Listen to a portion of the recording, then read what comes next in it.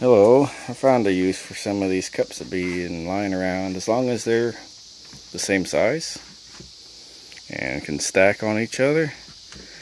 They seem to work out for something I'm going to use them for.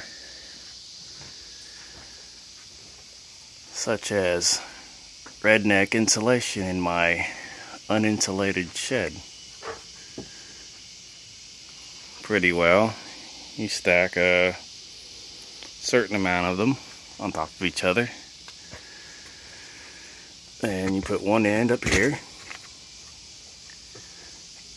all the way to the top, as far high as it can go.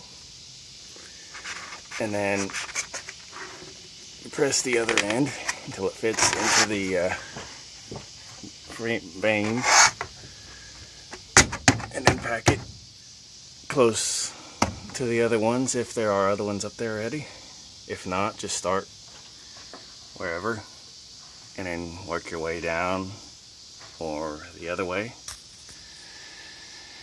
Enough cups will, or should, help out.